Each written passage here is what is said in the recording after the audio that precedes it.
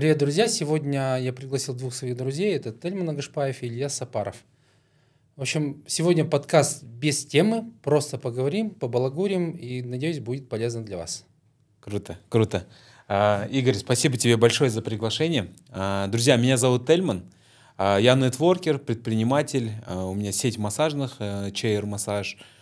Конечно же, себя меня называют королем нетворкер, э, нетворкинга. Я люблю знакомить людей и знакомиться с людьми. И это моя миссия в моей жизни. Давай, Лясик. А тебе сколько лет? Мне 34. А тебе, Игорь? 45. О, да он папа У нас твой. сегодня разношер... разношерстная компания. А, меня зовут Ильяс, я сам с города Караганды, занимаюсь автомобильным бизнесом, у меня есть детейлинг, твердый бизнес в Караганде, и тут сейчас в Алмате мы развиваем тоже тему и детейлинга, и доп. оборудования, тюнинга, продажи автомобилей. Короче, все, что связано с авто, это ко мне, и плюс качаю тоже личный бренд, как как положено, как на положено. четырех велосипедах 10 рельсов в день. Мы просто Игорю э, сказали, что надо три рилса в день запилить. Э, Он сейчас 10 пилит. Он всех, всех блогеров перешагнул. Всех, всех просто. Мы с Тельманом познакомились и с Ильясом на, этом, на как этот, mastermind. На mastermind е. И на, на самом деле с, с этого момента очень много процессов запустилось. Почему? Потому что я э, Тельман мне прям взял телефон в нахалку, поменял этот э, логин. Логин, как он называется? Да, да, это описание. Да. Поменял, короче, на нейминг этого инстаграма. У меня был мастер Тор три семерки, сейчас стал Игорь Ким Псай. Он говорит, что такое мастер Тор, короче, как докопался вообще. Как ютубер ты какой-то. Да, да. Как в этом, в PlayStation, да? Да, да, да. Вот. И он мне поменял, Потом что-то я за ребятами наблюдал, все там миллиарды у всех, там какие-то рестораны, кафе. Потом после этого знакомства Тельман вытащил меня в этот э, Куда? С Уральска началось, да? Да, да. В Уральск да. выдернул. В Уральск на вот этот слет парасат или чего там. В общем. Да, да, да, да. А на mastermind е, когда ты был, ты не разбирался, ты был и... просто как наблюдатель. Я да? просто наблюдал. Просто как да. гость, да? Я и до перевернулась даже. Да, тогда. я до этого работал просто стресс, там этот, угу. я не разбирал никогда бизнеса, ну особо так нет. Было неинтересно, что ли. Вот. И когда я наблюдал там внутри mastermind а, я понял, что психика, она выстраивает бизнес так же, что у тебя в голове. Да. Одинаково прям. И вот эти травмы, которые у человека есть, он точно так же построен бизнес. Но единственное, нужно было это ну, наслоить, да, психологию на бизнес, когда натягиваешь, тогда понятно. И тогда можно, ну, какие-то комментарии можно такие угу. вкручивать, которые там людей чуть под, подтряхивают от этого. Ну а что больше всего тебе вот, что зацепило? Что люди открыты? Ну то есть для меня, например, мастер-майнд это когда мы все собираемся, и меня цепляет, что вот ты приходишь, людей никого не знаешь, и тебе каждый что-то дает, какие-то советы. Э, ты это, ну, уже от тебя зависит, принимаешь ты это или нет, но это все так максимально искренне и э, чувствуется вот эта отдача. Тут главное, если ты На исходящем сам, потоке. да, если сам ты принимаешь, то принимаешь. Кто-то злится сидит. Если честно, я намного этот, как этот, Разбор. не, не черствый, а как, как это сказать? Короче, э, у меня ничего такого как бы не открылось там, вот то, что открытый, там то, да. что ты говоришь. У меня включилась болезнь называется фалометрия, да? То есть я начал себя сравнивать с другими, и я просто охерел, насколько я мелкий. И меня это начало потихоньку, ну, как бы... Давать мотивацию. Иметь, короче, изнутри. Ну, не мотивация, это, это прям иметь называется, все, мне кажется. Да. Ковыряешься, да, когда... И я начал, я, это было незаметно, да, то есть эти полгода я наблюдал, смотрел, хм. приходил там туда, туда.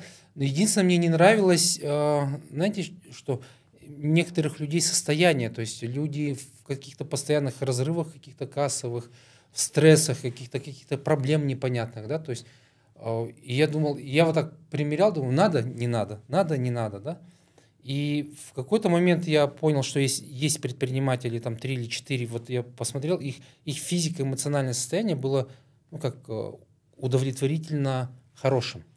Ну, и для, в... для твоего понимания. Да. да. И такие деньги, в принципе, можно. Но такие, вот некоторые себя разрывают, и такие деньги, мне кажется, ну, немножко, э, как они, так, не токсичные, ну, токсичные для тебя, наверное, для физики, для психики. Ну, не всегда же можно прийти к большим деньгам или там к деньгам, которым ты хочешь, я имею в виду ровно и поэтапно. Бывают же вот эти и разрывы, да. и стрессы, и касса, что у тебя не бьется, и ну, вот это психоэмоциональное состояние на пути бывает? Может, это просто путь? Не знаю, я все равно верю, что бывают деньги, когда ты можешь гармонично развиваться без вот... В легкости. Вот, ну, не, в, не сильно в легкости, но без сильных таких вот перепадов. Вот. Потому что у людей перепады, я смотрю, вот оттуда прям вот, ну, вниз. Но почему эти перепады, как думаешь? Насколько мои, вот э, не то чтобы исследования, а вот внутреннее ощущение мое такое, что это в моменты, когда ты взлетаешь, включается эйфория. Это есть у спортсменов, у бизнесменов, у всех, да? И в состоянии эйфории ты совершаешь огромное количество ошибок. Сто процентов. Эйфория, она еще подкрепляется гордыней, да? И ты все, и ты поплыл, и вот в этот момент, когда поплыл, очень важно в пике остановиться. Потому что очень много бизнесменов приходят, когда упали. Никто не приходит на, на пике. Но на самом деле к психологу надо ходить на пике, когда все хорошо, чтобы он тебя чуть присадил. Тогда деньгами забирать не будут, и вот этих вот перепадов сильных не будет финансовых. Круто, круто. Но я вижу это по-другому. А, я вижу вообще а, у людей очень много испытаний, да?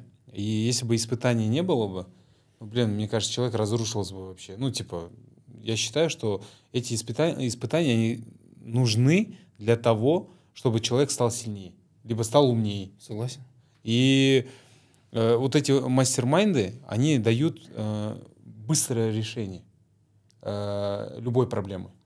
Угу. Вот как-то так. Я, я вообще люблю мастер-майнд. Я мастер-майнд тоже люблю, но этот, я говорю, что со мной внутри происходит, да, то есть какая, какая внутренняя, какие внутренние процессы у меня.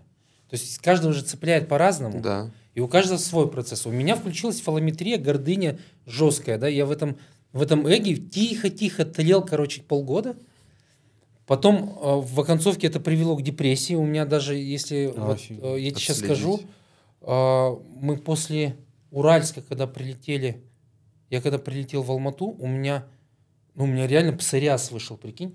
Ну, как бы здесь, на ногах у меня, короче, на теле. Я думаю, ядрить, колотить. Не вот это, это болячки. Которые... Я сначала подумал, что это, да, этот, как, как этот, э, Короче, корь. Раз прикол, можно рассказать этот прикол?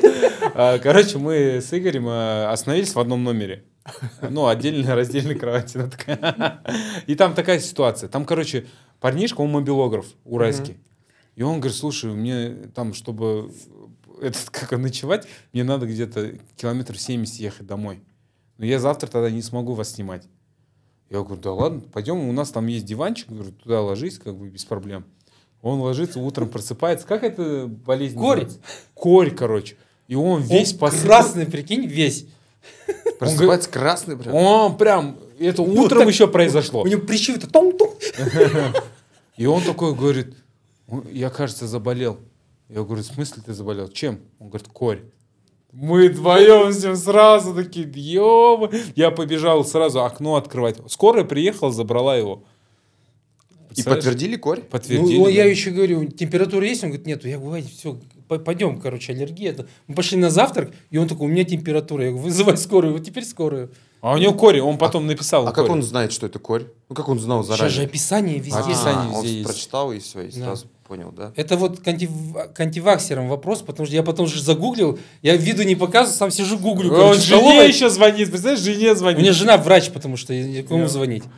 Э, и я, и я, короче, гуглю там, что такое корь, и там, говорит, 10 из 10 контактов, короче, заражаются. Если они не привиты, я, ой, ладно. Потом я жене, короче, жена говорит, не, не бойся, все нормально. Потом в оконцовке приехал в Алмату, маме звоню, я, маму, я вот у меня контакт был, она говорит, маме еще позвонил. Ты же, говорит, ты же, говорит, уже болел, что ты переживаешь? Я говорю, а, да, да, тогда все. И все, меня прям отпустило. Но сначала я, да, подумал, что у меня, это, потому что раздражение вот здесь красное вышло. А вот не рассказал ты вот и псориаз, и что потом? Псориаз, короче, психосоматика псориаза – это внутренняя ненависть к себе. Это тогда, когда ты себя подавляешь сильно и, ну, чмыришь, что, угу. что ты какой-то не такой. И вот это на, на, вообще кожные высыпания все такие психосоматики. И оно вылезло, и я думаю, что делать? Я же понимаю, это годами у людей не проходит. А да. это у меня уже второй раз, если я так сожрал. Первый раз, если я съел, когда вот январские события были, что у меня оружия дома нету. А второй раз я себя вот в этот раз съел. И я потом, у меня учитель приехал в Алмату, я ей звоню, я, а, не, мы так случайно получилось, что мы встретились. И она такая, ой, Игорь, что-то... И она с меня вот это все, она с меня прям говно вот это, знаешь, эмоционально выходила, что я вот прям вот сильная, короче, зависть включилась вот ко всем ребятам. Там это, я Каким поним- именно? Да ко всем, блин. Это, это у всех же там ярды куда-то там что-то, а я там сижу со своими там что-то этот, и, и меня это сильно цепануло, оказывается. То есть при этом я себя же сдерживал и не отслеживал.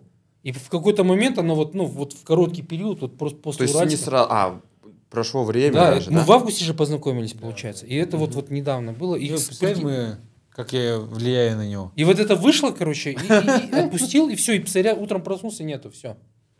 То есть у кого псориаз, это четко внутреннее ненависть к себе, это тогда, когда человек себя сожрал прям.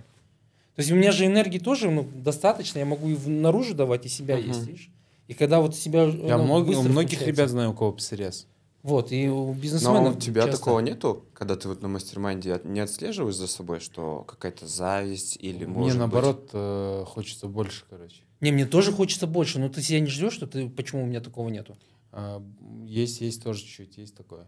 Ну, типа, это знаешь, э, я же понимаю, что я просто вижу, э, это не просто у меня зависть, а вот я вижу, допустим, этот человек что сделал и когда он начал работать. Вот, допустим, чтобы он заработать вот эти деньги, он же... Временной Тельман, это промежуток. от ума, а, а внутри что? А внутри есть такое, типа, когда вот у меня есть ребята, которые сейчас там, их компания там стоит 5 миллионов долларов, там 10 Мгм. миллионов, я такой думаю, блядь, что-то не то я делаю, не то Вот, я вот делаю. про это говорю. А у тебя есть? Ну, у меня было... э, Да, на не, ври, вот он. Нет, на определенных кейсах. Но там же есть и кейсы, когда ты смотришь на ребят, у них крутые обороты, да, там больше Он же денег. интересный психолог, он же видит, что ты врешь прям. Но я отслеживал за собой. Ага. Ну, то есть были такие Что моменты? было? Ну, типа, тоже, почему там ему... Ну, видишь, у меня какое, какое преимущество есть. Я сразу себе говорю, мне 26 лет там, да, или в 23 я У тебя попал... буфер на- времени еще Да. есть. Я, например, на мастер-майнд на первый попал в 23 года в Астане. И там ребята были ярники уже. А ты привык, типа. И я тогда себя чувствовал, думаю, ну в целом-то у меня еще время есть, но оказывается на время... И потом, когда зашел Жанбол, кофе, Йоу. И я думаю, Ты ну, знаешь всё. Жамбола? Джанбола не 22, да, ему? да, 23. 23. И я думаю, мое время... Тогда ему было 20. Мне было 23, а ему тогда было 20. И я думаю, ну тогда, наверное, временной промежуток, возраст, ну, то есть а это он не в каких показатель. категориях цифр двигается? Ой, у него там больше 60-70 франшиз по Казахстану кофеин, кофейных аппаратов. Ну, у Не-не, него там он тигр Хороший там. оборот у него. Люди, вы сколько Очень. кофе пьете, а? Глобал кофе, вот это, лайк. Жан кофе то- тоже И у всех там просто нереально какие-то обороты, прибыли. Этот Ай- Аян наш. Аян, Да, Аян. дринкет. Да, дринкет. Аян. Кошмар. Я никогда не думал, что в кофе столько бабла, блин. Да, конечно, это же продукт такой, Хотя это который пьют вода, каждый да? день. Хотя при этом я чаем занимался, я знаю, что в чае очень много денег. Но я никогда не думал, что кофе когда-то эту нишу заберет. А ты как пришел вообще к... Да, к телесной телес- психологии.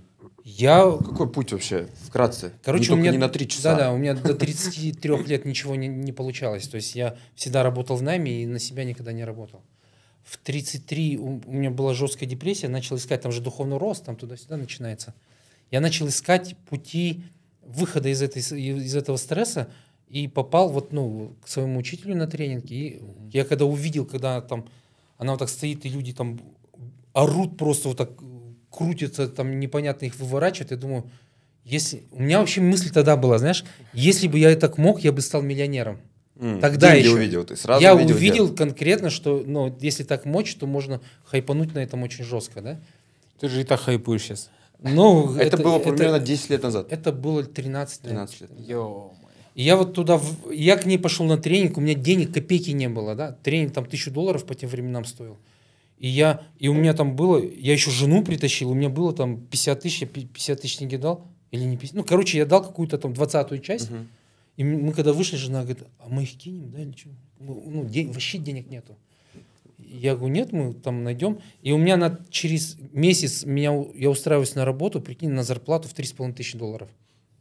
И все, и, короче, тренинг заплатил, все этот. И оттуда пошло, я за ней, я вот прикрепился, и три года я ходил за ней, не отходил. И она обучала меня прямо на практике. Это где было, в Казахстане? Это в, в Алмате было, да. Она прилетала А из она Мос- сейчас где? она в Москве. Я ей прилет- Она прилетала из Москвы, и я за ней вот просто ходил. И она говорит, вот я, она работала, я сидел, наблюдал. И она говорит, это вот так, это отсюда, это оттуда. Вот. И вот так, да. А потом я сам стал, потому что я, у меня эго, я говорю, вот то, что мы начали, Мгм. у меня гордыня очень сильная. И я каждый раз, когда с кем-то работал, если она рядом, до сих пор, я думаю, что, что она скажет, как подумает. М. Меня это капец. Ее мнение важно. Да, и я стал отходить, чтобы, чтобы не было шума вот этого фона. С эго я ничего не мог сделать, и поэтому я стал... Я вот так отделился. А с ней связь поддерживаешь? Постоянно. Да? В Постоянно. хороших пот- отношениях Да, остались, да? да. А бывает у тебя такой, Игорь, допустим, кто-то купил там, допустим, пускай, ладно, будет новый Прада, и ты купил новый Прада. Роликсы, роликсы. У меня было, да, и сейчас есть, наверное, такое. До сих пор, да? Но Ну, сейчас единственное... Ильяс, если возьмет Бэху, ты возьмешь Бэху? Нет, мне не нравится BMW. Мне не нравится Ильяс. Мне не нравится, мне не нравится BMW, живет. потому что, ви- видишь, я какие-то покупки делаю, знаешь как, а, мне важно, чтобы она потом продавалась нормально. То есть Не с для эмоций, да? Ты Я, нет, да. Ты Если не- я покупаю, и оно потом, ну, как бы горит, и, и типа это, и нет. Ну, для меня BMW вот так, ты ее купил, и она Игорь- сгорает каждый день, как будто деньги. Игорь не кореец, он еврей. Да, да, да. Вот, поэтому, ну, я готов на большие, крупные покупки, но чтобы они сохраняли стоимость, как это, ну, более-менее хотя бы. Лексус Как инвестиция. Ну, Да? не инвестиция, но хотя бы, Грубо чтобы говоря. не сильно в большой минус, да, то есть вряд ли ты прям больше заработаешь на, на этом. Но у него Прада, поэтому Land Cruiser. И Прада Land Cruiser, он всегда... э, ну, Он всегда есть- продается, всегда, ну, Ну, плюс-минус та же Время цена. идет, сейчас уже все меняется. Ну, сейчас еще- уже и Прада. Если, конечно, ты его купил 10 лет назад, тогда да. А в целом сейчас то, что покупаешь, Toyota, Lexus, да и вообще рынок просел очень сильно. Ну, Ну, в машинах шарит просто. я, видишь, я, ну, машины, это понятно. Ну, новый возьму. Вот. Вот, видел, как мы шли? Когда? Эго, эго, эго. Не, я, я жду Когда? 24 года вот этот новый А Прада. мы поедем который- на презентацию в Дубай. Новый Прада? Это? Да. Во. Поедешь Хотим тоже? привезти их. Мы тебе привезем, что ехать? Давай, давай. Не, п- а Он может попасть туда тоже? Да? Давай, позови. Время только скажи, когда я... Иди лучше съезди, посмотри. Потому что мне ну, дико нравится он, вот этот нов- Да, но- новый, новый красивый. дизайн, да, он... Мужицкий такой, Да, да. брутальный. Да. Я еще когда покупал, я говорю, сейчас же новый выйдет, зачем новый? А мне новая она. В двадцатом году я брал, когда вот помнишь, когда этих чипов не было, что-то там еще. Да-да-да. Я пришел, я говорю, «Да- давайте я куплю, предоплату. И он, вам повезло, там, что мне повезло? Я уехал, потом приехал, деньги уже отдал, машину выгоняем. И мне, я вот выехал, и мне сверху еще 2 миллиона дают, то дай. Я говорю, что случилось вообще? Два миллиона? Сверху, короче, по- потому что не было машин Да, тогда. да, тогда не было машин. Я думаю, что случилось? А я, оказывается, кто-то заказал, у него не- денег не оказалось, и я перекупил, пришел вовремя. А машин нету, ни в наличии нигде не было. А, да-да-да, кстати, было это время, да-да-да. Тогда. Сейчас вариантов рассрочек, покупки. Сейчас всего там рас- Сейчас, растянули, да. Сейчас можно там, я не знаю, там 10% миллион, миллион да? принести, короче. И 10 лет рассрочку. Да, да, и выехать на машине. Давайте, чтобы разговор э, немножко веселее был. А, Игорь у нас телесный психолог. Ты мне когда сегодня написал, Да. что типа к Игорю пойдем, я думаю, сейчас Я тебе сразу же позвонил, говорю, Тельман, только скажи ему, чтобы вот это он не жал мне сюда, сюда, а то мы сейчас будем Игорь, вот ты... плакать, кричать, крутиться. Я вообще люблю, я люблю Игоря, короче, этот, всегда, если мы где-то э, с кем-то знакомимся, я Игорю сразу говорю, Игорь, скажи, что у него? Вот что у него? Вот он краснеет каждые 5 секунд, Игорь. Краснею всегда, кстати, и даже никогда мне... Не уверены, да, в себе? Накидывает. Мистрополит, ты сразу сбоку? Я шучу, он самый уверенный парень. Нет, Самовлюбленный. нет, Так не скажу я. Надо раздеваться? Нет. Без трусов, да, как вы что? Без- Он такой, да, ладно. так». Не-не-не, так нельзя. Вот. По- Поэтому этот... а, Так и не знаю, я сейчас так не могу сказать. То, Не, а вот он- так вот, по- по- если посмотреть на него, вот как на человека. Ну, мне кажется, вот я сейчас а, на Просто людей, эта на тема всех- очень интересная Да, сейчас я будет. сейчас на всех людей смотрю, а, знаешь, отслеживаю в себе вот эти первые 5-10 секунд, Ага. когда ты на человека посмотрел, Интуитивно. и что ты почувствовал, да, Да-да. интуитивно. Твой человек, подходит он тебе или не подходит, хочется с ним работать или нет. Потому что я определенное время, вот там полмесяца назад, проводил много собеседований. В день по 2-3 человека мне приходил. Мгм. И вот если первые 5-10 секунд человек меня как-то, ну, не расположил, не то что к себе, а вообще просто вот душевно даже, то я с ним сразу же ну, не работаю. Ты как считаешь, это вообще Это неправильно. правильное?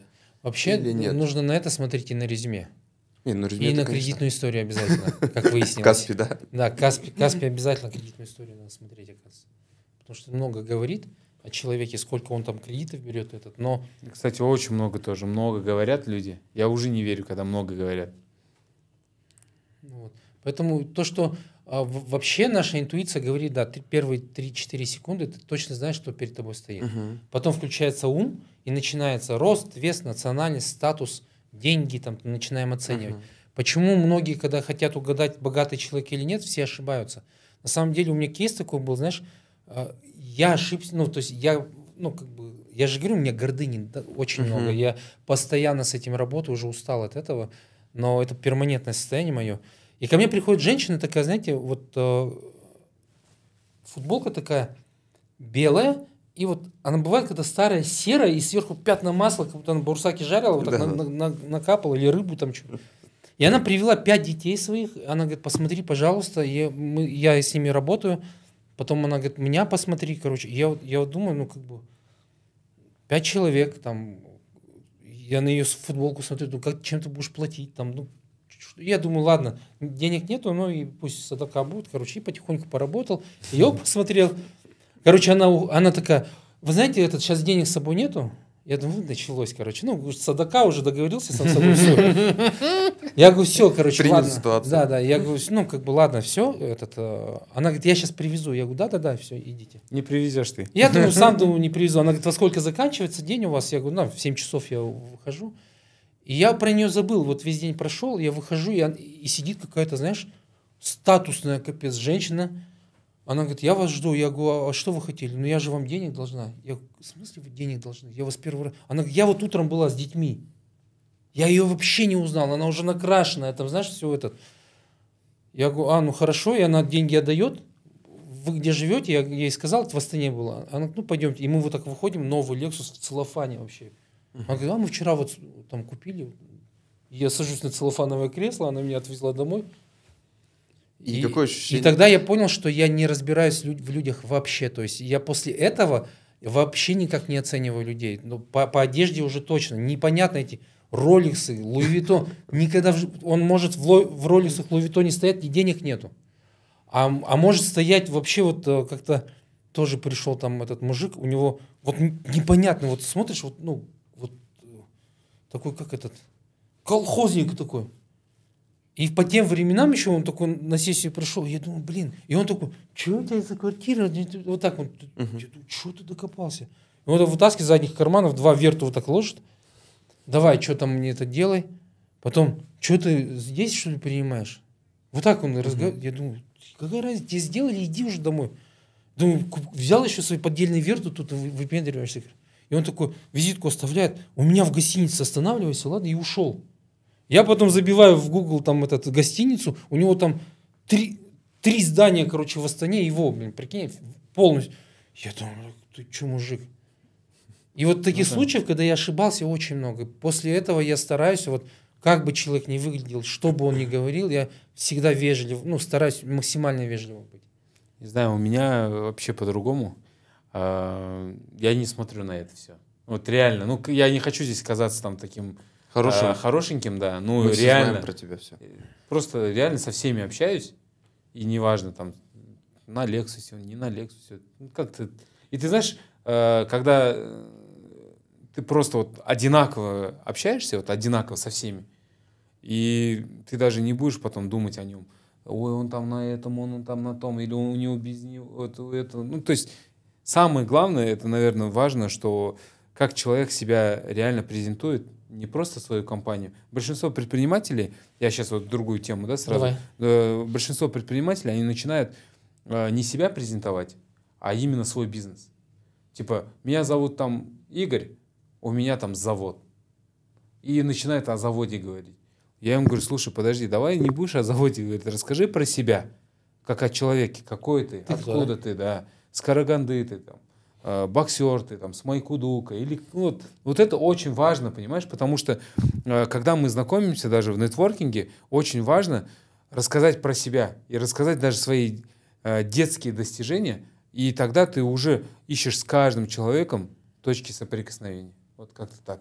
И я честно, как бы ни было, я одинаково отношусь. Ты когда это стерлось у тебя, скажи, или этого не было? Это э, на самом деле это было. У меня было, что я на людей смотрел, там, вау, вот так вот, все, там, побегу, пробегу.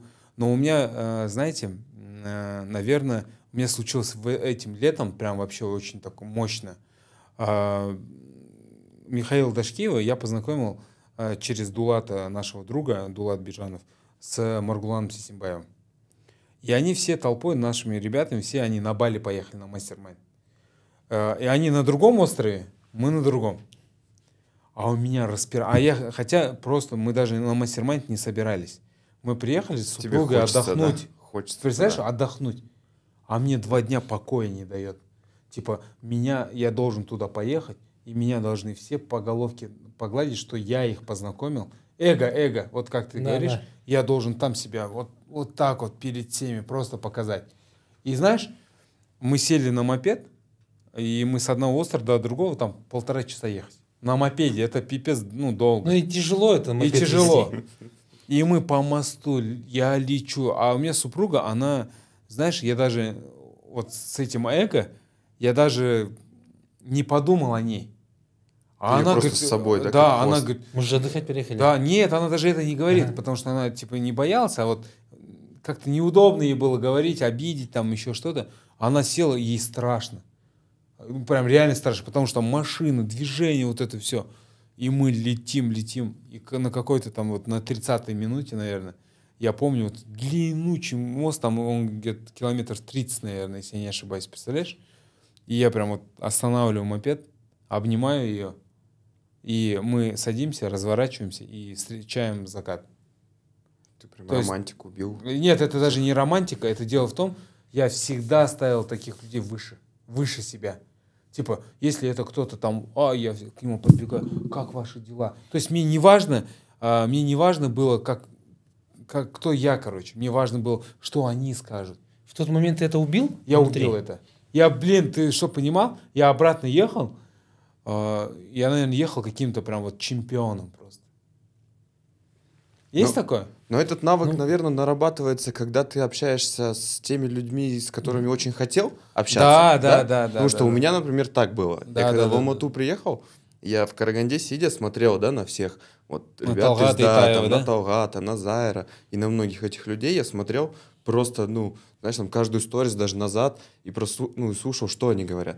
А когда я с ними уже познакомился тут и понял, что они, оказывается, простые все живые люди, все. все живые, и у меня это вообще ушло. И я сейчас для себя еще принял такое решение, что, ну, уже давно, что с каждым человеком, неважно, кто это, это может быть, ну, и сотрудников у нас большая компания, то есть я совет слушаю от каждого, потому что а, там человек, который работает на мойке, да, у нас, он может мне посоветовать что-то. Кстати, ну, то это есть очень сильно в, работает. В процессе разговора. Изменить, да? да, он мне может что-то сказать, и я такой для себя, хоп, зафиксировал. А, там не дотирают полики, да, например, там порванные полики значит, мы можем там повесить э, к себе в магазин там коврики, да, к примеру. Угу. И вот по такому принципу у меня очень хорошо пошло. Проще вот, стало. Ты уже тогда, проще. наверное, да, когда на них смотрел, на самом деле очень сильно работает запрос. Mm-hmm. Запрос это когда ты смотришь, кто тебе нравится, и вся вселенная, вот Всевышний, э, да. делает так, что ты с этими людьми по-любому познакомишься. Это, ну, я всегда вот в нетворкинге говорю, ребята, ставьте запрос не на машины, не на квартиры, ставьте запрос на людей. Вот, допустим, я познакомлюсь с Ауром или Талгатом Итаем, буду с ними работать и заработаю столько-столько денег и куплю на эти деньги машину, квартиру. Ну... Вот, типа, вот что, что очень важно именно через людей. Все равно возможности приходят через людей. Конечно, от Вселенной, от Всевышнего, а это от Всевышнего точно, но через людей. И поэтому он поставил запрос в Инстаграме, что вот а, эти люди ему нравятся. Угу. И Всевышний сделал так, что вот он с ними познакомился. Сейчас он партнер с ними, да? Угу. Да, круто? Работу, да, очень круто. И поэтому очень... Я, я всегда так делал. Кстати, я э, подписываюсь на тех людей, кто мне реально нравится. Как человек, как, э, допустим, эксперт, да? И я всегда там смотрю на них и говорю, вот, будет время, по-любому, ну, познакомимся. И реально мы где-то там встречаемся, меня с ним знакомят. Вот даже недавно я хотел познакомиться, вот Гульбану Май, Майгарин, да, вот э, Ланчжоу. Угу. Вот мы вчера, позавчера были на Узашар, на Ифтаре, прям классно познакомились, номерами обменялись. И это очень сильно работает. Поэтому нетворкинг очень важный запрос. Как всегда вот, продает свой нетворкинг, заметил? Да, он этим болеет. Всегда. Я болею, я люблю нетворкинг. Прям нетворкинг у него. Поэтому, друзья, развивайте нетворкинг. ко мне на мастер-класс. Нет, нет, нет, я мастер-класс ничего не делаю, делаю тренинги, двухдневные тренинги. 24-25 марта. Ну, продавай. Да, да, да. Просто у Игоря аудитория хорошая.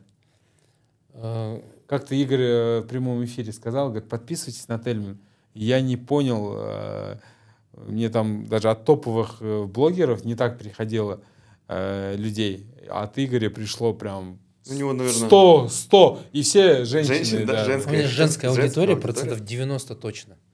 Потому что у меня все боли, они такие больше женские. И хайпуют моменты тоже женские больше. Там, разводы, там такое. А я ему потом пару дней еще писал подряд, типа, давай я прямой эфир зайду, не пустил меня.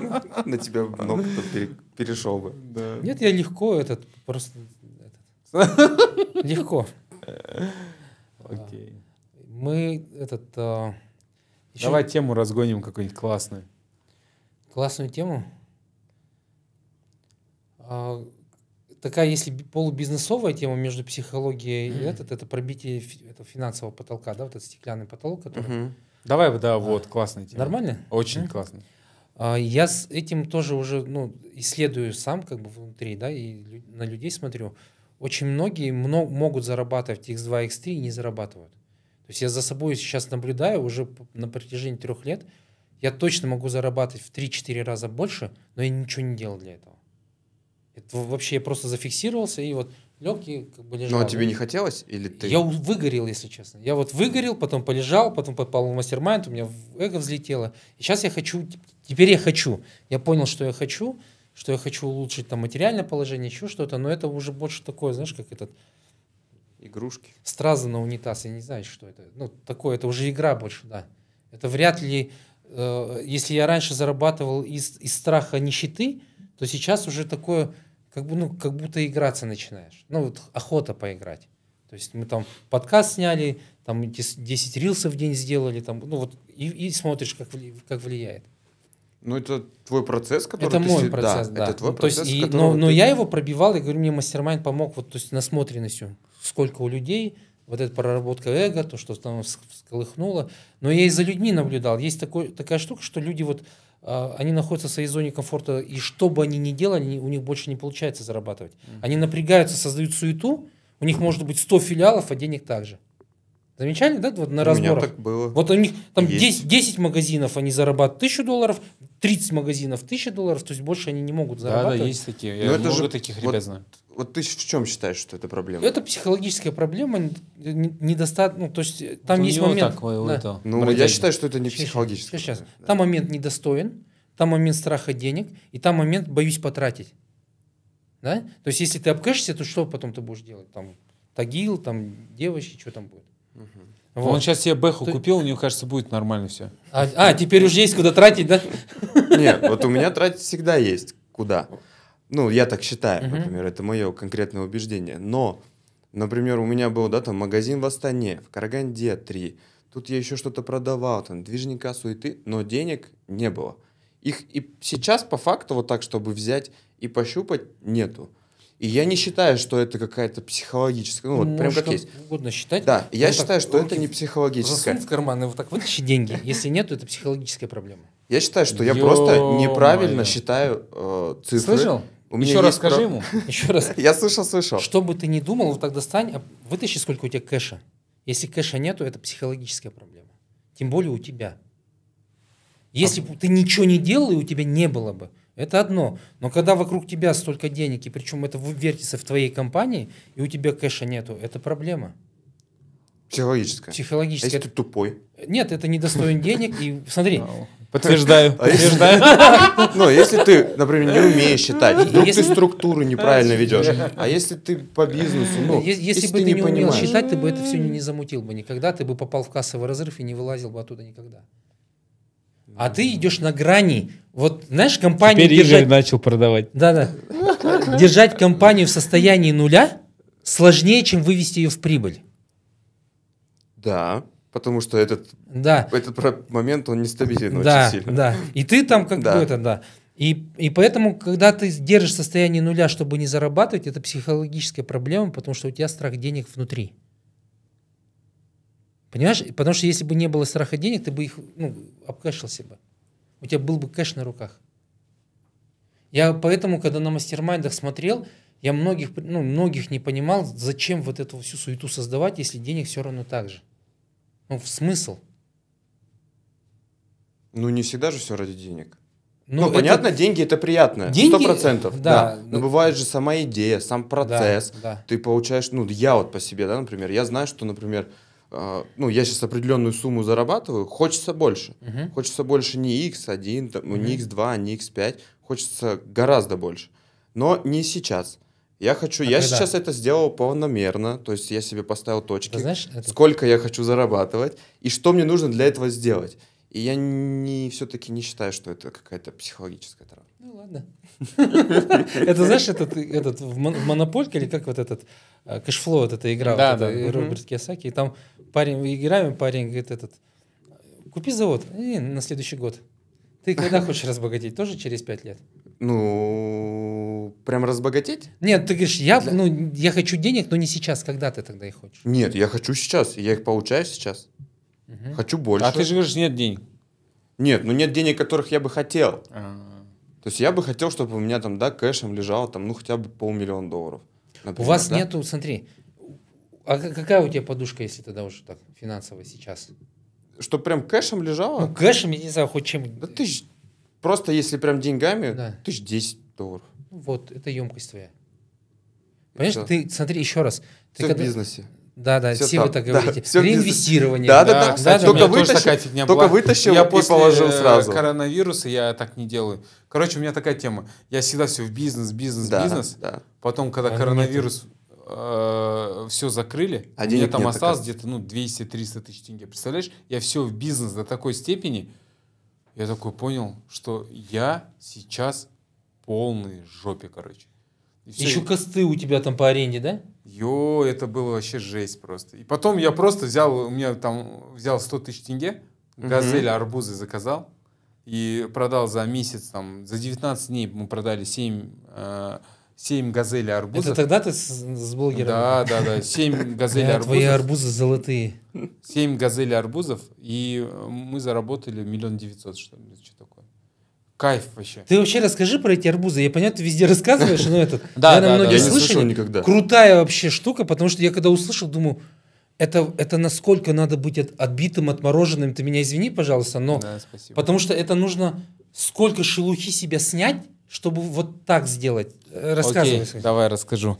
А, Мы снимали квартиру однокомнатную, а у меня тогда одна дочка была, и мы, а, у нас было, вот я помню, на- а, она- одна фарм-компания у нас купила массажи, и мы оттуда вытащили деньги, и можно сказать, то э- эти деньги наши, можно сказать, это не наши, потому что мы их еще не Оборотные. отработали. Нет, Да, да, да, да, да, да. И мы оттуда вытащили какую-то сумму, и мы на эти деньги жили. Нас закрыли на 24 дня.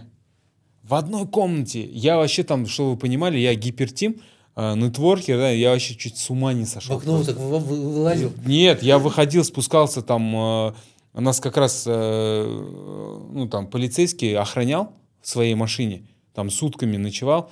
Я выходил к нему, с ним общались, я его всех родственников узнал, кто он, что он. Ну, короче, э, после этого я звонил друзьям, говорю, займите мне денег. Э, Никто, короче, мне не занимал денег. Мы просто вышли из дома 24 дня. э, Мы сели в машину и поехали на машине в Уральск. Приезжаем в Уральск. Что? Потому что мы 24 дня, везде все красная зона, там это. Да. А нам надо было выбраться, Движняк. короче. Да, это мне нужно было.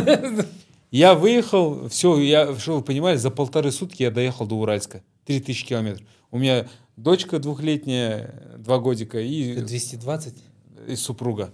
Ну это жесть, короче. И мы приезжаем, в Уральске вообще нет коронавируса. Ну, типа, есть коронавирус, там люди умирают, но все плавают, кушают. Короче, там на. Западе не было, А, да, я тоже в Октаву был э, после Я, я был в шоке вообще. Я был очень в шоке. все, мы там погостили. А, едем обратно, и в Казаларде у меня ломается машина. А, этот, а, как его, ГРМ. Мгм. Рвется Ремень. ремень. рвется ремень. Я не знаю, что делать, короче. Семью сажаю на самолет, они летят в Алмату. А, у меня уже денег нет. А, что вы понимали, в Казаларде на месте там СТОшник говорит, сперва говорит 100 тысяч, потом говорит, нет, 200.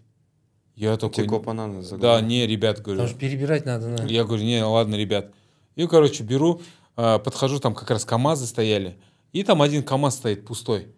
А он только разгрузился, арбузы разгрузил.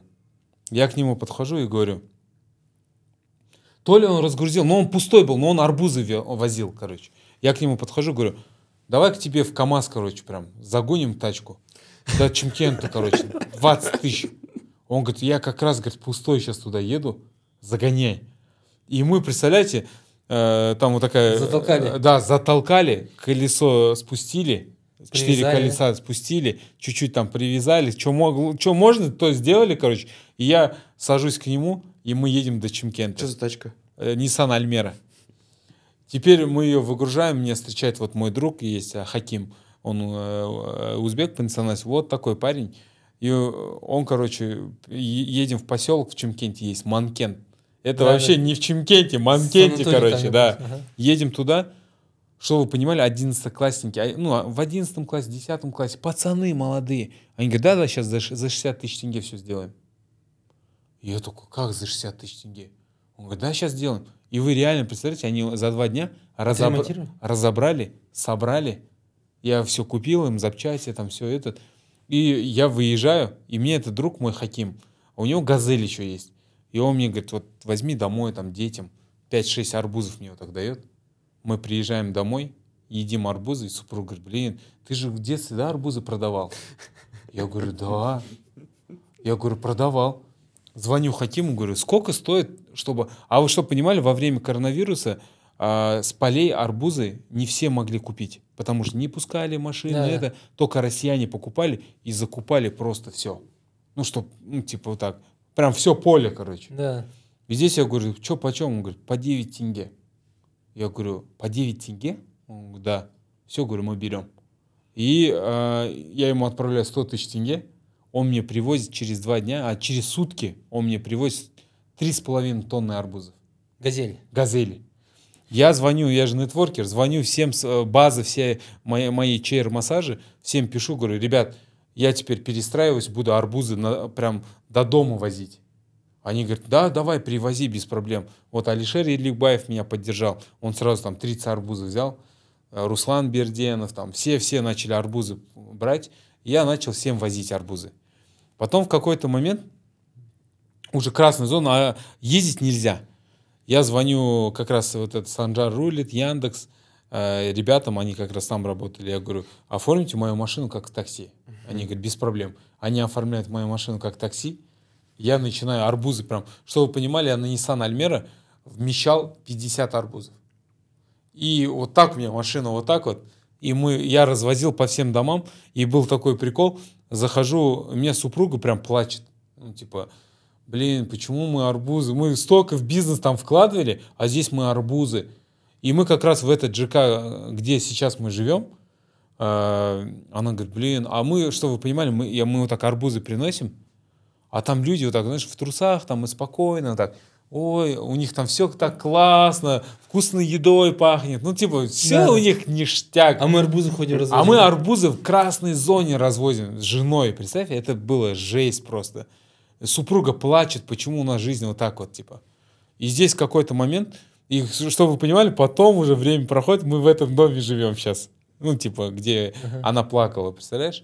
И здесь э, хочу рассказать, я н- писал всем, короче, э, меня Алишер Еликбаев меня поддержал очень хорошо, прям очень отлично. Я продал сразу три газели. Потом продажа остановилась. Продажа прям остановилась. И я еду вокруг Есентая, а у меня был 16-килограммовый арбуз всегда. Он всегда, я его держал прям для жирного клиента какого-то, знаешь. И, Оценит, да, да, да, да, да. И смотрю, этот Алибеков, короче, белый Rolls-Royce свой. Ну, подрезал? Про- э, Нет, нет, он- Врезался в него.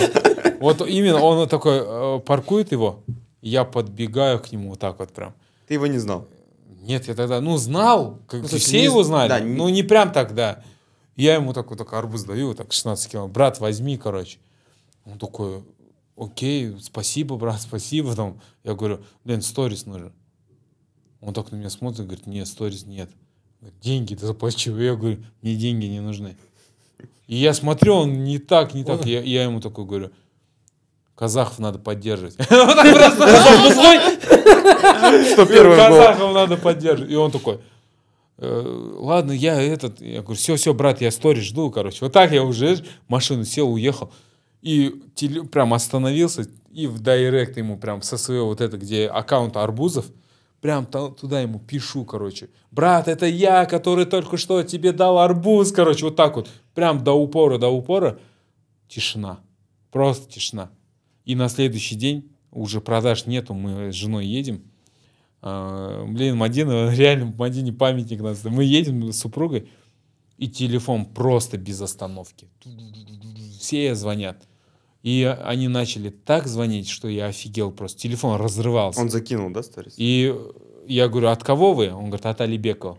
И мы заходим туда, и он написал, друзья, прям надо поддержать.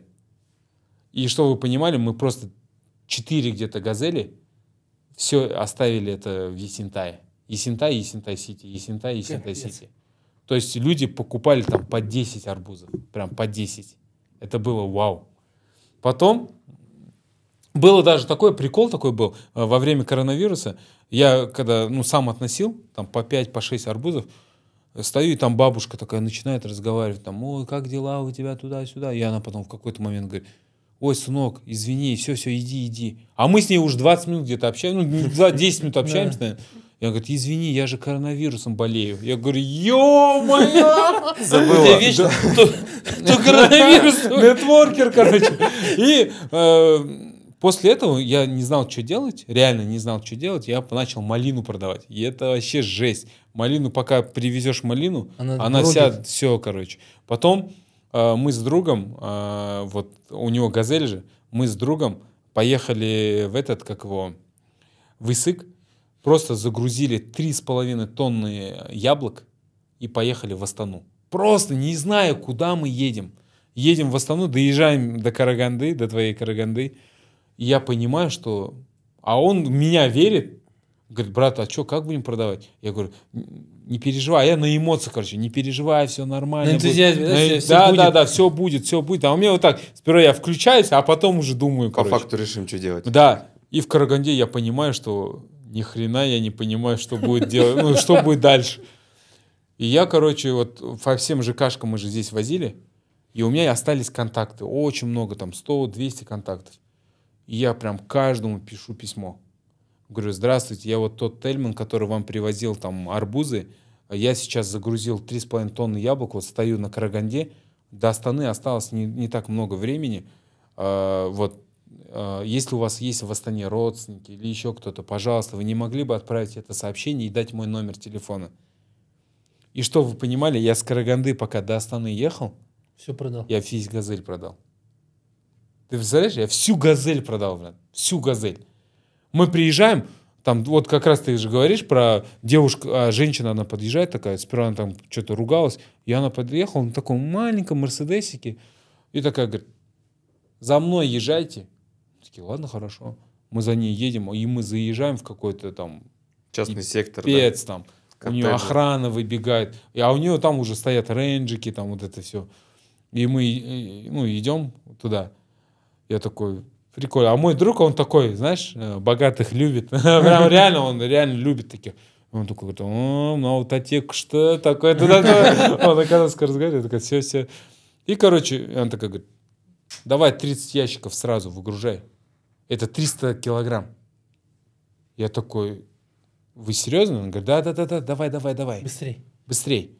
Мы 30 ящиков ей прям тук-тук на месте.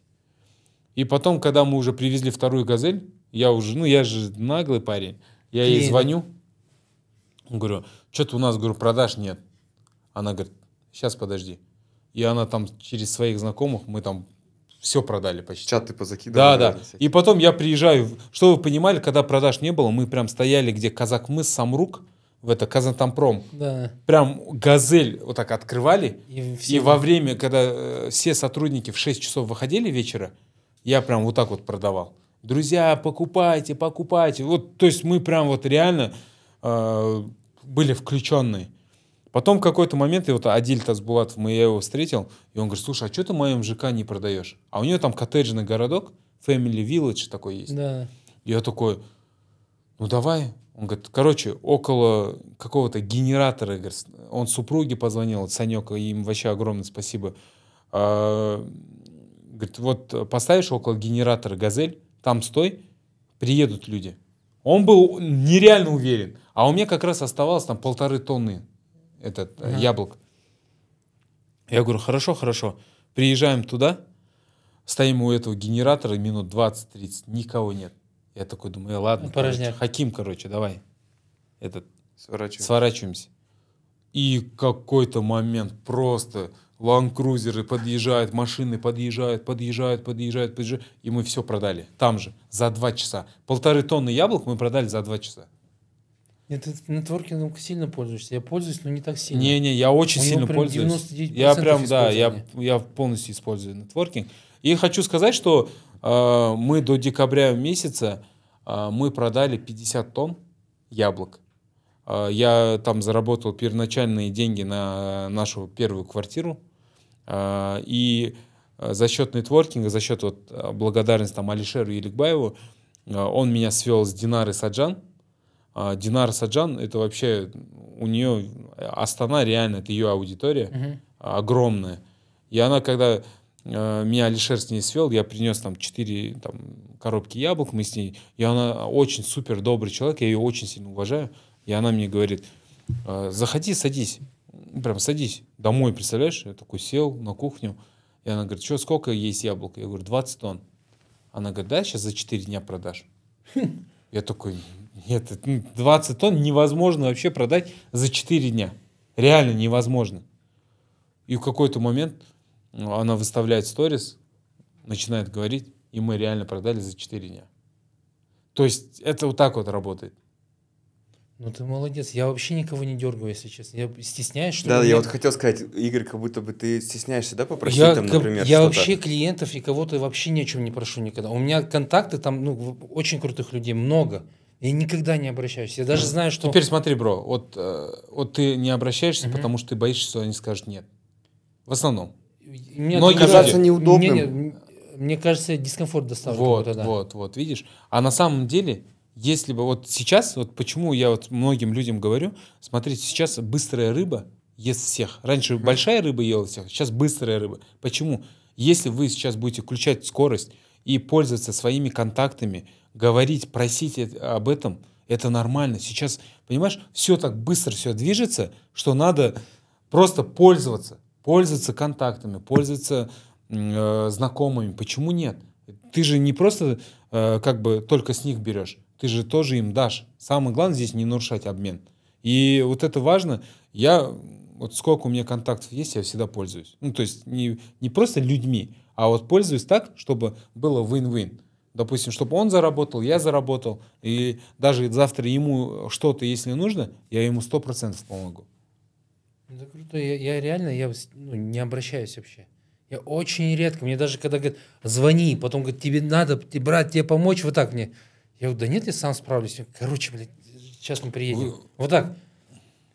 Представьте, многие люди вот с, с таким стеснением, они свой вопрос решают полгода. Да, бывает, можно за пять минут. А можно решить Коротко, за минуту. да, да. За минуту. Понимаешь, за минуту. Поэтому... Ну, я на тебя насмотрелся. Я, ну, я, вряд ли буду как ты, но чуть-чуть ускорюсь. Молодец, молодец. Чуть ускорюсь. Процент не забудь. Бизнес. Как начинал бизнес, Да. э, страшно, не страшно. Ну как, для кого-то Он же вот недавно 3-4 дня у него был сторителлинг, Мгм. где Да, он был бешено. бомжом, короче. Не-не, где он был Как было, как стало, Да, как он начинал. На самом деле, сейчас многие ребята там рассказывают, вот я оттуда пришел, я выжил, я это. На самом деле мы все это прошли. Мы все выживали. Мы все выживали, да, мы все выживали. И э, мне очень было интересно смотреть Ильяса сторителлинг, где он там, как он начинал, как вообще. Очень круто. Мне кажется, это нужно все добавить и в рил закидывать. Это прям вау, выстрелит. Спасибо. Ты во сколько начал? В 17, Ой, я... в 16? Нет, 13 лет я начал работать. Жесть. Я очень рано начал работать, с 13 лет. Это не потому, что у меня там не было денег и нам нечего было есть. Нет, у меня была нормальная семья. Мажор, папа да? зарабатывал. Нет, нет, просто нормально. Э, папа в одно время прям очень хорошо зарабатывал. Ну, мы жили в Майкудуке, там у него была машина. 2006 года это считалось вообще прям круто-круто. А начал работать на мойке чуть-чуть, и потом потихонечку я зашел в автосферу, ой, в автосферу, в кальяны. И в кальянах я ушел. Я работал в 14-15 лет в клубе, угу. то есть всем говорил 22-23. У меня истории бывали 3-4 года назад, я людей встречал, с кем работал, они говорят, тебе сколько лет сейчас? Я там говорю, 23. Он говорит, как 23? Тебе же 10 лет назад было 23. 23. Да. Тогда мне было 13. Да. И все, и именно тема кальянов, тема ресторанов мне очень помогла по жизни. Я вот сейчас, когда делал сторителлинг, отследил этот момент, что именно вот коммуникацию с людьми, а, как я разговариваю, как я себя чувствую, потому что мы же с людьми работали, и ко мне приходили не только покурить хороший кальян, а ко мне приходили просто поговорить. То есть я мог Психолог, сесть. Короче, видишь? Да, да. Ну, я был молодой, У меня да. тоже массаж такая же тема. И в клубах я, например, когда работал, ну, там вообще отдельная история, там выживание и охранники, то есть там же своя экосистема. Ты молодой, там охранники, бармены, клиенты, которые не платят. Тебе родители что говорили, когда ты шатался по клубам? Очень было тяжело, ну, договариваться. Я еще учился же, плохо учился. Я хотел спросить про образование. Тут... Один класс. Еле как. Еле как, один классов и все. У тебя нет, да, высшего образования? Mm-mm. М-м. У меня тоже нет высшего образования. Прикольно. Я даже не пошел. У меня на, на троих. Ну, он э, три он купил, а один отучился. Сейчас эго там вот так. Так, сейчас я вам покажу, как я учился. Выключите камеры. Ну, вообще классное было время. Я работал в Балхаше, у меня были свои кальяны.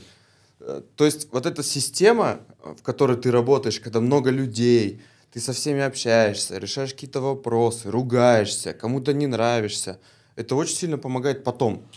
Если ты вот ничего не делаешь, то и потом ничего не будет. Не, на самом деле, вот многие люди, интроверты, я им вообще рекомендую э, либо брать в компанию экстраверта, чтобы он там многие дела решал, либо прям самим идти больше знакомиться, больше общаться, и тогда на опыте вы потом будете супер, э, знаете, супер не то, что классным нетворкером, а вот вы будете считывать людей, обманывает он вас, не обманывает, э, говорит он и правду, искренен он, не искренен, вы это будете считывать 5 секунд. Неудобный вопрос чуть. Нехватку образования когда-нибудь чувствовал, нет? Конечно. Сейчас я тоже чувствую. Тоже чувствую. Сейчас Конечно. чувствую. Потому что я, я вчера очень... спорил, сидел, я, ну, в смысле, как мы... Я чувствую. Я очень, очень Я, например, как, капец, как yeah. чувствую. И, в чем чувствуешь, чего не ну, хватает? Ну, во-первых, мне не хватает словарного запаса. Я Мне еще не могу самое. читать. Что значит не могу читать? Нет, в смысле, я умею читать. Да. Не умеет этом, он читать, вряд а, Я когда сажусь... По слогам, да? Я когда сажусь читать, мне очень сложно сидеть и это делать там хотя бы 30 Травка минут. Травка зеленеет. 5-10 минут могу.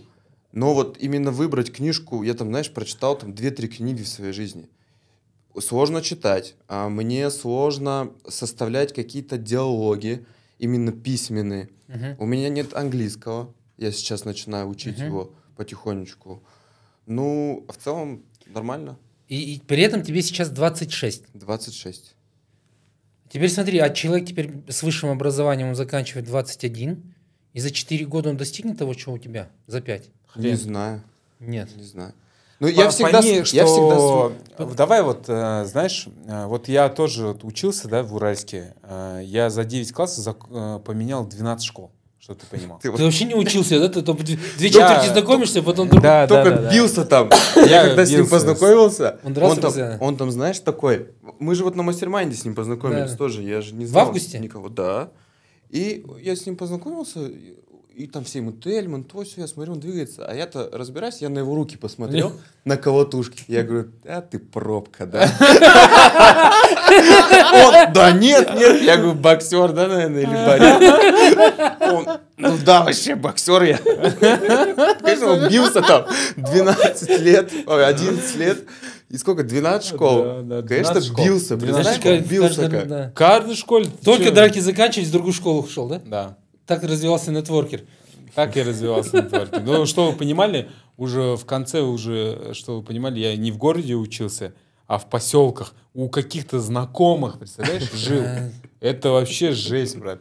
И э, я же вот очень с многими общался. И вот сейчас мне там говорят, давай там э, встреча выпускников, что-то такое. А у меня дофига школ. Я даже не знаю, в какую школу идти на эту, на эту встречу выпускников. Вот реально.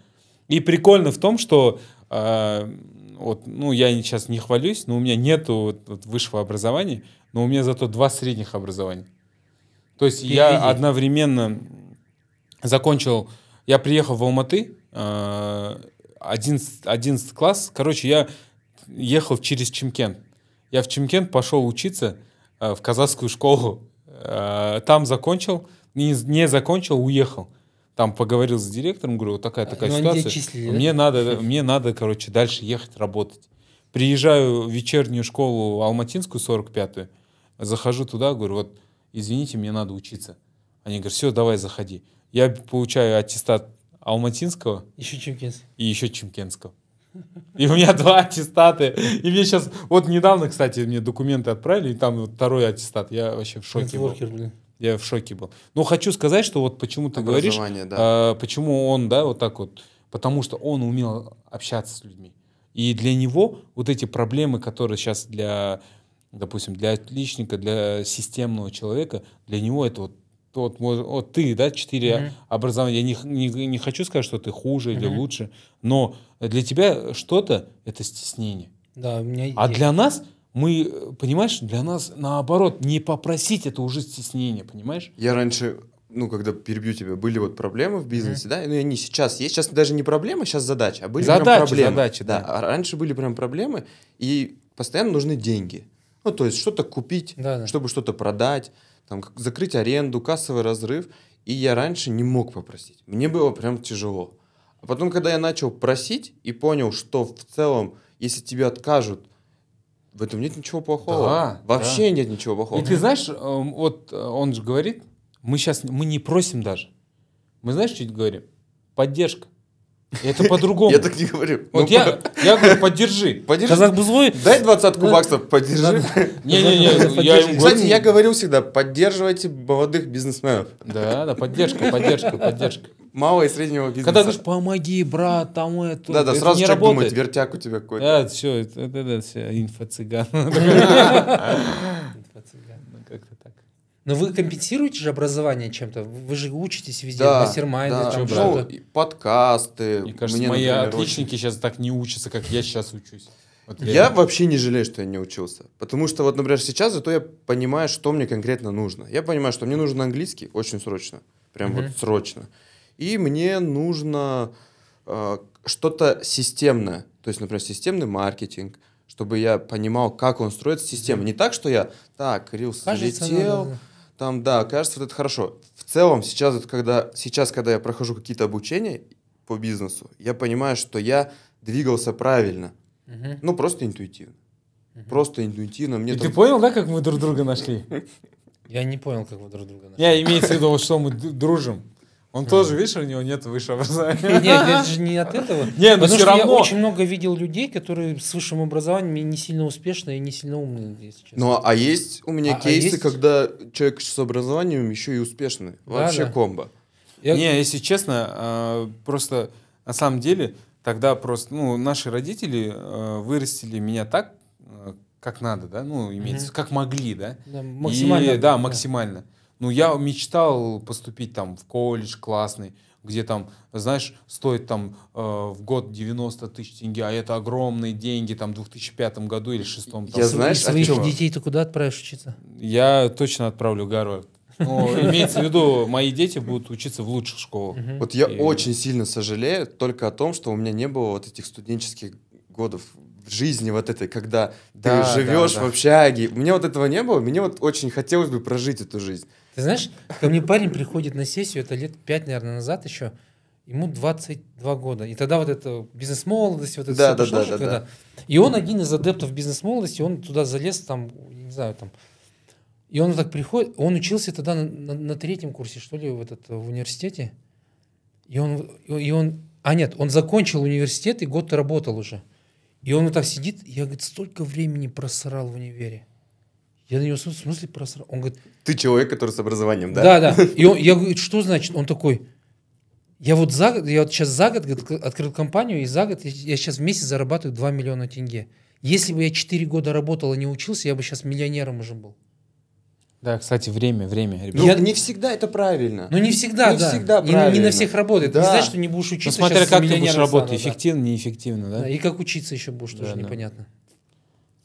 Мне нравилось в школе, я договаривался, капец, с учителями. Прям. Ну, это Вот, э, стабильность. Вот смотри, это- мы в школе, вот с ним, да, вот примерно, я сейчас понимаю его, а мы раньше в школе себя все равно, вот, допустим, отличников, мы их защищали, вот, ре- как- я всегда общался. Вот я вообще я со всеми общался, да, я вот даже где-то отличников защищал. Вот меня сейчас отличник друг был, у него сейчас три ресторана в Самаре. Сначала объясни, зачем отличников защищать. А, защищал для того, чтобы они этот, ну, они мне там домашку помогали. Это реально как есть. А чё шепотом Нет, от кого их защищать надо? А? От кого? Да, от наших там одноклассников, они постоянно их там, ну, типа, обижали. И я просто не хочу здесь материться, но обижали, да. Да. Но я им говорю, слушай, давай, ты мне сделай, А я тебя бить не буду. а я- а- а этот тебя бить не будет. Защищали. Я, ну, Я их защищал. Пользовался людьми. Друг Ну отличник ну, было очень круто, на самом деле. Ну, то есть, и я сейчас понимаю, что вот я даже этих отличников вот видел. Блин, классные ребята, мы прям вот дружим с ними, очень круто.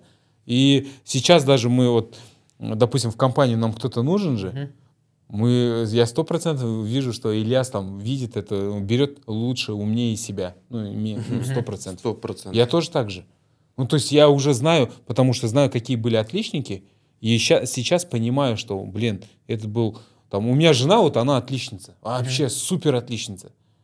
И вот она моя супруга, вот, ну, она, нере- она очень крутая, идейная, умная. И я сейчас понимаю, что я всегда вот даже в школе, я всегда, оказывается, вот именно с такими ребятами все равно дружил, общался, и мне было очень комфортно. А у тебя пример, у тебя-то жизненный опыт намного больше, чем у нас. У тебя примеры есть такие, что человек, например, плохо учился и стал там каким-то Да, сто процентов. там, Есть, вот. а, И какое соотношение? Ну, вообще предпринимательская жилка чаще всего у троечников, наверное, Мгм. там, или там вот что-то таких около плавающих там. Всегда На по вы- лезвию, да, ходит? Да, Которого да. со школы выгоняют. Да, да. Потому что они приспосабливаются чаще, да.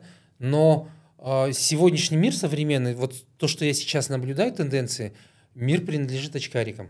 То есть в том плане, что сейчас время отличников пришло. Да, да, Потому пришло. что любой бизнес сегодня финтехом становится. Если ты не становишься финтехом, тебя нет просто. Да. Все, мы Сто тоже будем финтех. Вот про это я и говорил изначально, что если в бизнесе нет денег, то да, я ну, не спорю, есть какие-то психологические, но я отношусь больше, ну, то есть вот на конкретно на своем примере. Да, у меня было тысячу э, там, причин, я думал, вот это не то, вот это не то, может что-то. Оказывается, просто там я неправильно считал.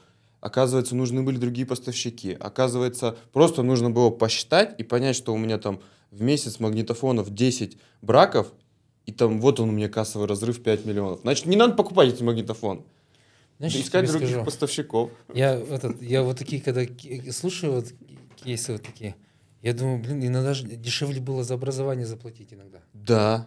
да. Но видишь, но при- проблема в том, что опыта нету в образовании. Нету, нету. Ты нету. знаешь, но ты сам не делаешь. Ты, потому что вот делание, оно совершенно другая психологическая нагрузка. Совершенно другое. Да, да, да, да, да. Ситуации бывают такие накаленные. А ты знаешь, нам не надо нравиться. Вот так вот э, быть такой жопе. Ну, типа. Я не знаю. Я не хочу. Не, я не то, я Скажи, не- Сто процентов. Если, у- если у нас все прекрасно, все вот, вот как Что-то надо, значит не то. значит что-то не то у нас. Какой-то Нам надо по-любому вертяг какой-то нужен. Скажи же, Илья? сто процентов. Прям сто. Не, я, в- я в таком состоянии работал, я был. Если хочешь, мы тебя затянем Тяжеловато. Да, Нет, тяжеловато. я, я был, подожди, я сейчас еще восстанавливаюсь, не, пока, пока рано мне. Ну, мне Я кажется, просто вот захожу. эти качели, они же постоянно. Я просто не знают тех людей, у кого все вот ровно, Да. стабильно. Я знаю их, но у них как-то все скучно. У меня капец, я Корея, Китай, денег нет, есть деньги. Чуть порадовался, опять нету. Ё-моё, Да, в Караганде, да, в да. Алмате, ты в Астане, это в Чемкенте, в вот так Москве. Драйвит. Да. Дровит, да. Только бывает, конечно, такое, что ты уже эмоционально, физически просто... Но Вот у все меня, равно ты знаешь, что ты сильный. у меня, Это пф, в 26 лет. пф, это, а у меня бывает такое, ну сейчас уже меньше стало, Ага. но раньше, вот там 3-4 месяца назад, да, раньше, давно, вот, полгода ну, назад, как вчера. В 74 году. я мог э, работать, работать, работать, там вот эти вертики решать, но потом меня рубило, и я мог 2-3 дня из дома вообще не выходить. Телефон вообще не брать. У меня мне звонят, у меня есть какие-то дела. Я не могу дома сидеть. Я, тоже. вс- я все вот так. Я Под вот одеялом. этот, к слову, карантину я тоже еле как его пережил. Да? Во-первых, я четыре раза переболел, и я, прикинь, улетаю в Октаву в командировку, это карантин, карантину так открыли, я так парфюм беру, так брызгаю, я жене говорю, что-то я не чувствую. Она говорит, значит, это твой парфюм, что-то там, она что-то зачесала. Я говорю, да ладно. В самолете лечу, так, и меня морозит. А мне еще этот апгрейд сделали в бизнес-класс, короче. Я вот, я лечу, там же кресло такое лежишь, и меня вот так трясет. Думаю, Что такое? От бизнеса может трясти. Ем, короче, прикинь, этот, ем этот, не чувствую, ну, смысле, думаю, ну, наверное, там что-то этот. И в Октаву уже при- прилетел, меня организатор встретила, положил этот спать, я лег, и я мерзну. Я ей звоню, слушай, говорю, одеяло возьми, что-то, где здесь одеяло, что-то мне холодно. И она, сейчас, сейчас, сейчас, потом позвонила, возьми одеяло, и она вечером приезжает на ужин мне, вот дверь открывает, а, понятно. Я что понятно? Сейчас. Она звонит, там, вот там какой-то этот, говорит, врачу, говорит, такие симптомы, и он так, и она говорит, вот он отправил ответ, Я короче, бля, в больницу не вези, в больнице сдохнет. Я в смысле, он, говорит, я тебе сейчас протокол лечения скину, лечи его так, в больницу не надо вести, прикинь? Я на нее смотрю, в смысле сдохнет? Она говорит, сейчас, а ну давай лекарства, короче. И вот она за пять дней меня подняла. Офигеть. За пять дней. У меня окситоциновый шторм вот этот, знаешь, тебя швыряет просто вот.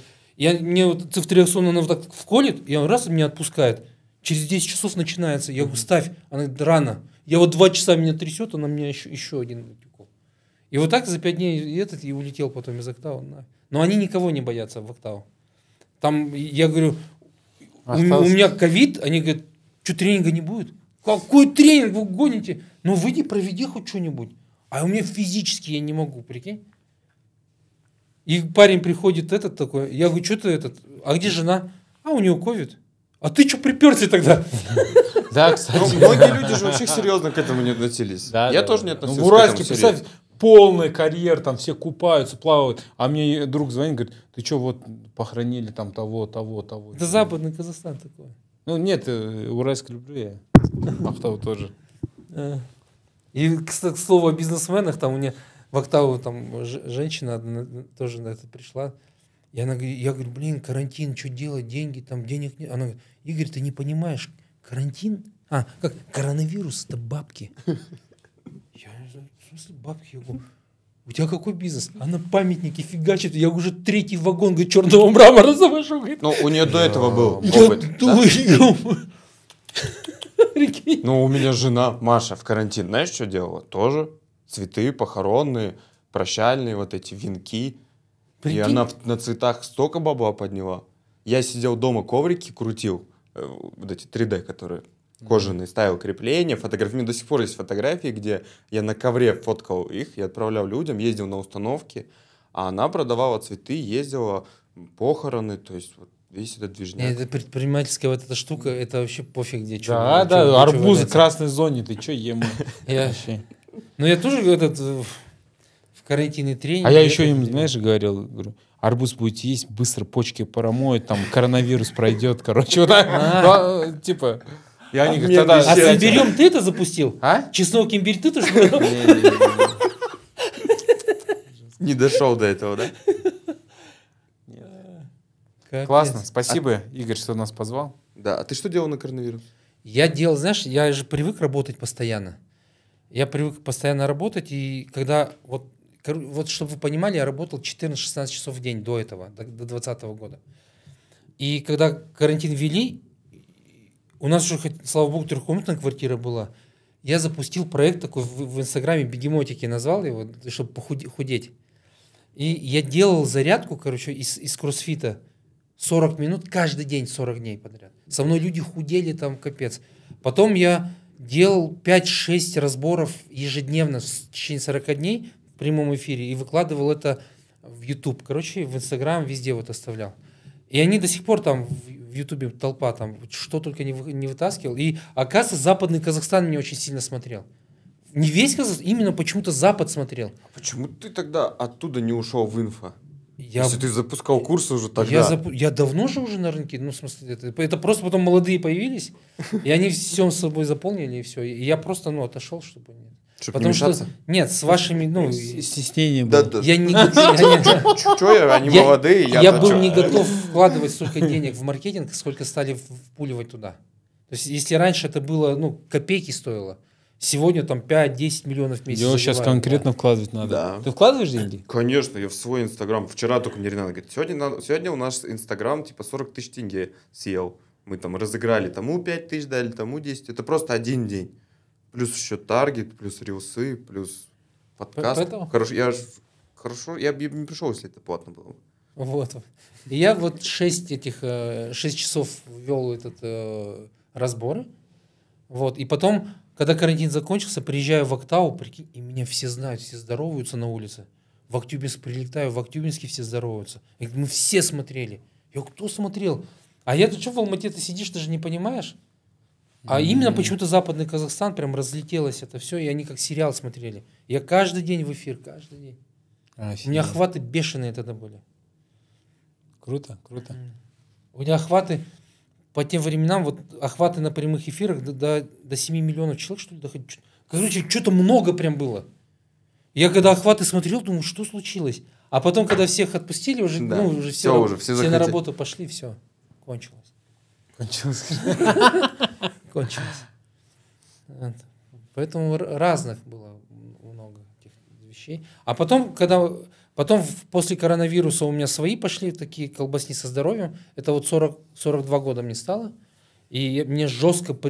Я почему всем говорю, ну, кому 38-37 лет, остановитесь. Потому типа что... не пошите так сильно, Да, потому не... что по здоровью бить начинает жестко потом.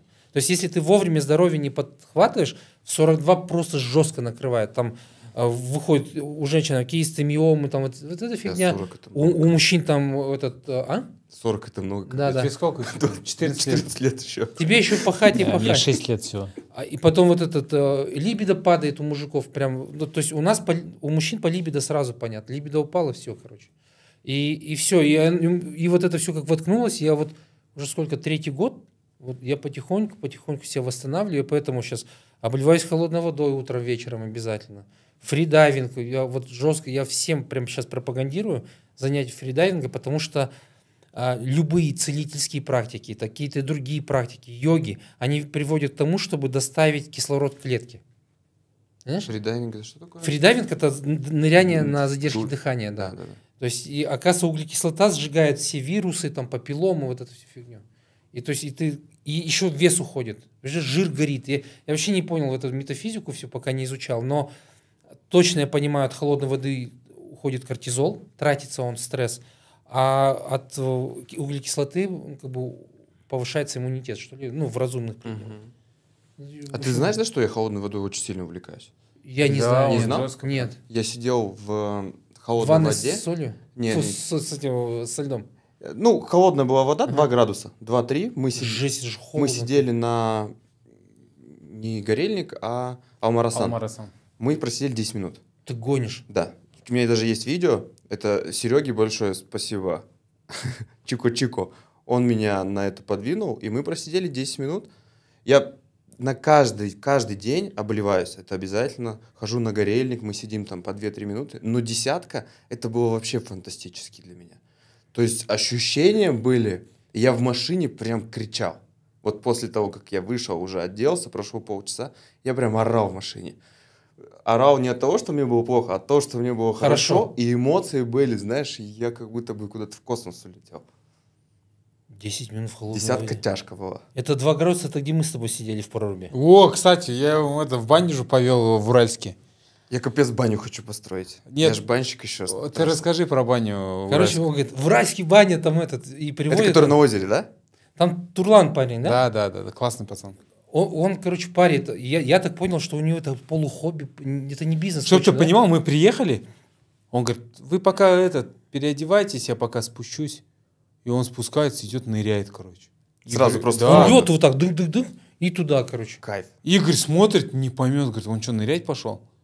Я говорю, да. И потом расскажи. И он такой, я говорю, в смысле? И он выходит, я, я говорю, не холодно? Он говорит, сейчас ты тоже будешь. Я думаю, да пошел. ты». Ну, про себя так. Это. А я сам баню люблю. И он потом попарил, что-то это там. И он так закрыл, говорит, 20 минут не выходить. И мы 20 минут сидим, короче, В бане. в бане. Я говорю, ну, как бы, ну, жарко. Он такой дверь вот так открывает. Подышите. Ну, подышите. Он раз опять дверь закрыл. В какой-то момент говорит, все, пойдем. И мы идем, и я, я за ним иду, ну куда я прусь, ну что еще за фигня? Но я же уже видел, что он там был. И я думаю, ну, может быть. И я уже фридайвинг, там, обливаюсь уже. Да, там уже есть понимание, Как бы, да? да, уже есть понимание, что делать. Тельман, по-моему, первый, ты первый зашел. Я Я, еще Тельмана посмотрел, да, думаю, Тельман залез. Это где ты вот сидел вот так возле этого? Да, да. На да, лестнице? да, да. И, и у меня же еще это тоже, я тебе говорю, фалометрия же это. Я думаю, Тельман смог, я тоже, мне надо залезть, типа этот. И он такой еще, потихоньку заходи, я потихоньку залазю, вот так, вот, вот так, вот так, и уже и хочу выйти, и он, а он, Турлан так руку положил на плечо, расслабься, и держит. Я хочу выйти, и он так, расслабься. Да, очень И важно. ты такой раз расслабляешься, сползаешь вот так, и в какой-то момент вот эта деконцентрация, то, что, чему учат на фридайвинге, я думаю, ну уже выбора нету. И я вот от- как бы отстраняешься вот так, так и, и ушел, все. И потом в какой-то момент стали икры сводить сильно. И я все, я начинаю выходить, он, он, хватит, он такой, тогда не торопись. Я медленно-медленно вышел, икры сводят, пальцы вот так, и, и он, и ты хочешь икры помассировать, он, так- он тебя поднимает, вот так вот, Турлан меня поднимает, говорит, смотри на природу. Я вот так глаза открываю, и все, и улетел. Про медита, вот просто тишина такая. Потом постоял, подышал, я чувствую, ноги отпускает, пальцы все. Он садит потом на скамейку, и ты еще секунд, два, наверное, минут 20 мы сидели, да? На скамейку садишься, холод, там минус 20 там с лишним. Да. Ты сидишь, от тебя пар идет, и вообще кайф. Потом второй раз он тебя заводит, Мгм. включает музыку, ты опять медитируешь, короче, что-то там туда-сюда, потом уже парит, и опять. И потом уже третий раз на полку ложишься, и все, и он тебе медитацию ставит, ты там летаешь. Я здесь, э, у меня ребята увидели здесь алматинские, говорят, и мы вот недавно ездили в Сасские бани, и они уже все, уже никто не прыгал. Они такие, все, уже раз потихоньку. Тут главное спокойствие. да, я им показал, короче, Да. это, и все. И они такие, да, классно все. А мы раньше, а, пш, и туда, Этот, туда. э, забронируй шаманскую, по- поем, сходим. Вот, Да. вот шаманскую. На понедельник можно. Ну, пон- хорошо, сейчас. Договоримся. да. Договоримся, да. Ну, бани я все люблю, лю- любые бани я вообще. Я очень сильно хочу построить баню. У меня сейчас есть такой пилотный проект. Мы сейчас начали разрабатывать. Есть хорошая земля. Потихоньку вот начали именно концепт. Я хочу сделать такой, чтобы это было не просто прям баня, знаешь, там, чтобы ты пришел, тебя отпарили, капец, Да, ты да. там в воде, а чтобы ты мог с семьей прийти, чтобы мог с женой, с детьми, и чтобы культуру бани прям пропагандировать и говорить о том, что для чего баня, откуда она пришла, что нужно делать, как обливаться. Э, Там есть всякие качели, сено, ну то есть штук, которые могут тебя унести именно вот в это состояние, в котором ты пребывал после холодной воды и сидел на вот этой штуке. Их очень много, комбинаций. Да, да, да. Очень много. Ну, я люблю Будем ходить тогда. Обязательно. б- бани. Я даже Инстаграм создавать не буду для этой бани. Ты на своих в чат закинешь, там Да. все там наши пойдут. Ребята. Что, Всё, еще за- завершим? пиздим? Ну, уже или нет? дальше ехали, можно, да, да. Ну что, хочу сказать, развивайте нетворкинг. Приходите в БГТ, пожалуйста. Машина, покупка, продажа. И к телесному психологу. Не, классно, Игорь. Хорошо разогнали. Спасибо. Еще с нашего бизнес-клуба, с мастер-майнда я еще ребят буду звать, будем знакомиться с бизнесом, с людьми, с какими проблемами они там сталкиваются, с какими трудностями психологическими, такими своими какими-то внутренними. еще важно, как семья реагирует да, на, на построение бизнеса. Блин, это уже другая тема. Брат. Да, потому что семья очень важна. Потому что если ты с семьей не договорился, что ты уходишь на войну, то у тебя и войны не получится, и семьи не будет. Да? То есть очень важно договариваться с семьей, и потом уже выстраивать бизнес. Ты да. Прям сейчас точку. Давай еще минут 20 пообщаемся.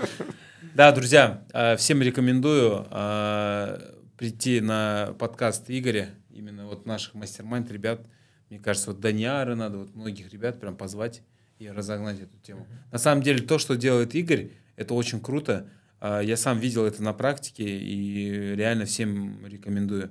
Ильяс об этом не может сказать, потому что он не был. Потому что я и, э, и, и, да, да, да, да. И поэтому, Честно, мне кажется, есть. после подкаста ему точно надо идти к Игорю. Поэтому как-то так. Спасибо тебе, брат. Спасибо. Спасибо. Да. Спасибо тоже.